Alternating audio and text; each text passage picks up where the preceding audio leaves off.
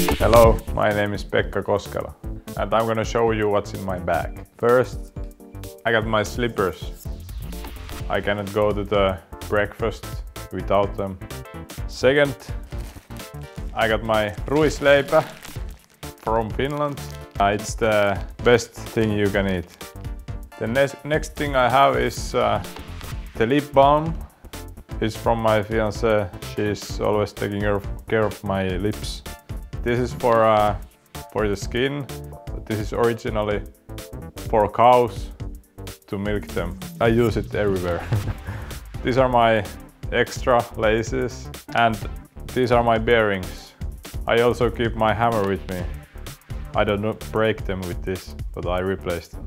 This is the last thing I have, my own pillow. I can sleep like a baby with this.